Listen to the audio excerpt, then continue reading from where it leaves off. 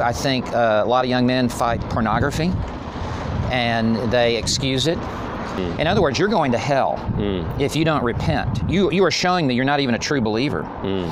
And then he says, and if your right hand makes you stumble, that, that goes even further. Now you're not just looking, now you're fondling. So that is why purity is absolutely essential. What if I told you I knew what happened to Steve Lawson and why?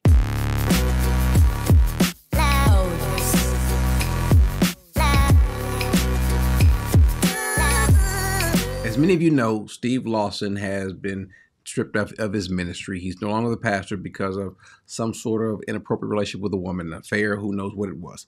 But uh, he's been taken down because of that particular sin, lost a lot because of it. And he's not the only one. There's other folks that have fallen.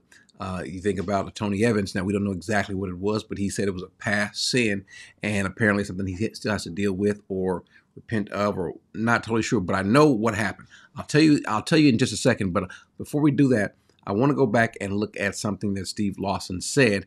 And a lot of what he said makes sense. Now, there's something I'm going to disagree with in just a second, though. But let's look at something that he did with um, Kirby from Off the Curve Ministries and listen to what he said. Now, let's just be honest. This particular discussion, even though some time ago, uh, it really didn't age well. It doesn't look right now? Uh, it begins with their own personal heart and their walk with the Lord. And um, really, you've got to be a godly man. And there are a lot of young men who want to go into the ministry who are trying to be as much like the world as they can be, and they need to be as much like heaven as they can be. And so it really begins with their own personal character and the integrity of their life, and it begins with the Word of God in their life. Uh, Psalm 119, verse 9 says, How shall a young man keep his way pure? By keeping it according to your word. Then verse 11, Your word I have hidden in my heart that I might not sin against you. What he said so far makes perfectly good sense. Matter of fact, it's true uh, you want to keep your heart pure. You want to keep your mind pure. You want to keep it focused and stayed on Him. The question is, how does that happen? Now, before we get to all these things, uh, there's something he's getting ready to say that I'm going to disagree with a little bit, and it points to why these things keep happening. So, for men going into the ministry, that involves you must master the Word of God, but more than that, the Word of God must master you. And you must be sanctified by the Word of God. God will only use one kind of a vessel, mm. and that is a pure and holy vessel. Mm. And the Holy Spirit will only fill a holy life. Mm. And the Holy Scriptures will only go, go forth with power from a holy life. Now, I understand what he's saying. And he's saying that he, the Holy Spirit or God will only use one kind of a vessel. Herein, herein lies the problem. This is why someone like a Steve Lawson failed. I know exactly, I know it intimately because it's something that happened to me. Now, thankfully for me, mine was differently. Mine is happening before, if that happens, if it happens to be the case that I actually do become uh, a pastor, a senior pastor. Um, mine happens before uh, versus his happening during causing his to possibly end. Now, in terms of can he ever be rest- restored and so forth, the possibility is there. Will it happen? Not sure because it, it varies from person to person. But he makes a statement stating that it can only be uh, a person has to be, or he's only going to use a certain kind of vessel, a pure vessel, a holy vessel. Therein lies the problem. This is something that Paul says. Paul says in 1 Corinthians 10 12, he says, Therefore, let him who thinks he stand take heed that he does not fall. The reason why that's important, take heed lest you fall, because oftentimes, every time that a man falls, what has happened is, and I mean someone who's been in, in a position of leadership in the in the body, what happens is they get things a little bit twisted. They begin to feel themselves. They think that they are steady. They think that they are firm on solid ground. Sometimes it's because of the the applause, the accolades, and so forth, the, the hand clapping, the pat on the back, people telling them how great they are, and you begin to read your own press clippings you begin to buy into it. You think that you know the word well enough. People have clapped. Some lives may have been changed. You think it's because of you, not necessarily the Holy Spirit. You know it's the Holy Spirit, but part of you thinks that, yeah, you know what?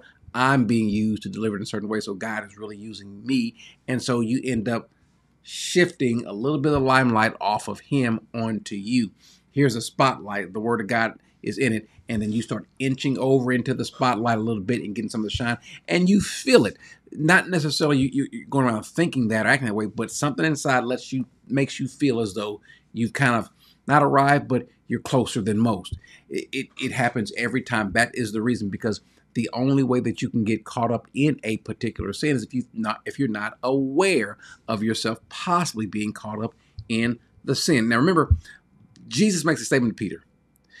In Luke 22, he says, Simon, Simon, behold, Satan has demanded permission to sift you like wheat. But I prayed for you that your faith may not fail, and once and when once you have returned again, strengthen your brothers. Peter is the guy who says, No, no, no, no, no. As a matter of fact, look what he says. He says, He says, Lord, with you I am ready to go to prison and to death. And he said, I say to you, Peter, the rooster will not crow today until you have denied me three times. So what happened was Peter got a little too full of himself, thought that maybe he was the man because he was treated a certain way, a little bit, maybe a little bit differently than the others. Remember, he was part of the inner circle. He was uh, one of the three amongst the twelve, amongst the other disciples, and so he's beginning to feel himself, and his confidence shows. I'll go to death with you. I'll go to prison. No, nothing's going to separate. No, no, no, no, no, Lord. I'm going to all. They might leave you, but I won't. Peter didn't understand what Paul is going to say later. Take heed. If you think you stand, take heed lest you fall. And so Jesus says, Satan desires to sift you like wheat. Peter finally gives, as a matter of fact, so much so that he goes on and says in 1 Peter 5, he says, Be of be of sober spirit, be alert, be on guard. Uh, your adversary, the devil, prowls around like a roaring lion, seeking someone to devour. Well, what do lions do? They look for the ones that's off by himself or the weak ones. But just be off by yourself because either you don't know any better or maybe you think that uh, you're okay and you're not. You are never okay. You are never uh, in a place where you can take care of yourself. And so sometimes these men they go off on these trips. They take they go to these different conferences. Um, they used to take their wives, and one they take their wives. They do these different meetings here and there, and their wives aren't present. And so anything can happen. It doesn't happen while they're in the pulpit. Doesn't happen while they're in Bible study. Doesn't happen while they're in prayer. Doesn't happen while they're studying. No, it happens when they have left, when they moved away. What happened with David when he was supposed to be doing what he was supposed to do? The time that kings go off to war, what does he do? Now I'll stick. I'll sit this one out. And his mind that should have been preoccupied on the Word of God is no longer preoccupied on the Word of God or God, God's will, what He wants him to do. Now his mind is idle, and he has an opportunity to look and think about the flesh. Think about what he's seeing. Hmm, that tends to happen. Oftentimes, the devil didn't come up to you with a loud ringing bell and a sign and the sirens going off saying, Hey, here comes sin, here comes temptation, here comes something that's going to cause you to fall. As a matter of fact, when you see it, ah, no big deal. That's how the enemy works. A lion does not come uh, and, and, and make himself known prior to coming up to his prey. No, he sneaks up. That's how the enemy is. And what ends up happening is we do things that allow for sin to come in. Paul makes a statement. Look at this. He says in first, I'm starting Romans 13, let's start in verse 11. He says, Do this, knowing the time that is already at the hour for you to awaken from, from sleep.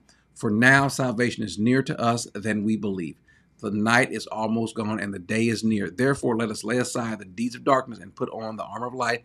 Let us behave properly as in the day. Act as though this is it, that we've only got a few minutes left act in that manner, not in carousing and drunkenness, not in sexual promiscuity and sensuality, not in strife and jealousy. Look what he says, and here's the key.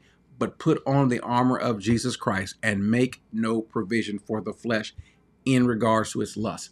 What does that mean? Well, you know what? I, I want to be pure. I'm a single man or single woman. I want to be pure. I'm, I'm single young lady. Um, I'm pure. The, I, I've kept myself. I want to stay strong. But we're going out on a date let me just in case, just in case, let me stop and, and, and pick up some uh, some protection, some condoms, just in case something happens. What are you doing? You're making provision for the flesh. You're making provision for sin, just in case.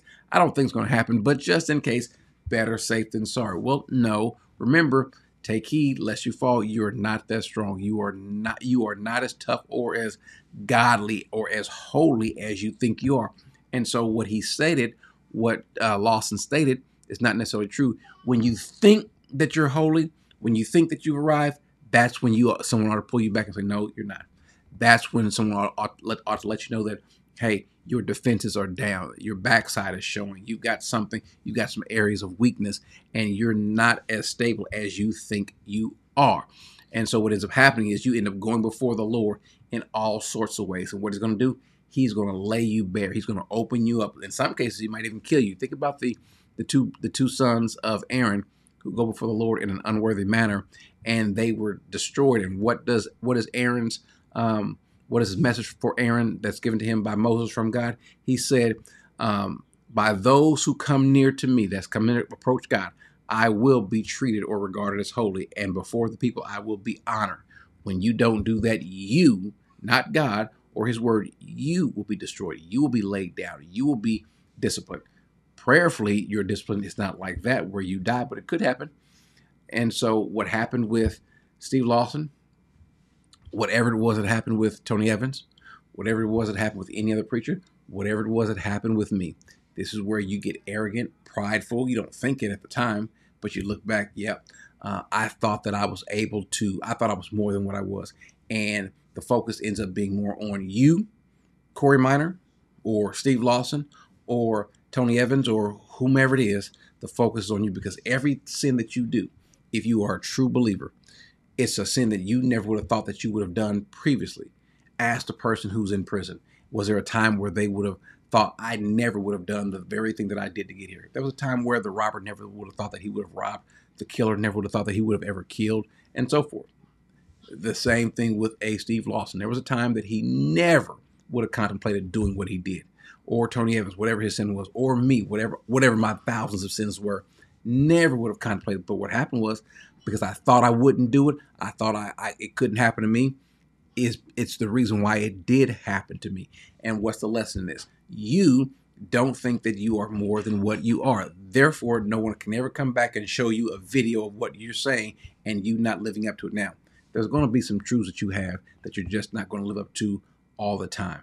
And so the best way to handle that is, as he says, to regard his, his word, hide it in your heart that you don't sin against, and do that every day. Make it a daily practice. Don't neglect the day because the day that you neglected is a day that the enemy began, can begin to make some inroads in bringing you down. Why? Because he's not just after you, he's after tarnishing the message of Christ.